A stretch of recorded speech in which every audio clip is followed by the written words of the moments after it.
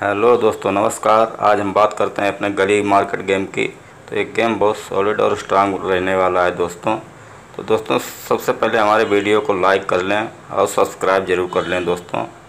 तो दोस्तों, गेम में जोड़ी रहने वाली हैं हमारे छः तीन जोड़ी हमारी मेन रहेंगी दोस्तों, तीन जोड़ी हमारी सपोर्ट में रहेंगी दोस्तों और एक हरूफ रहेगा दोस्तों।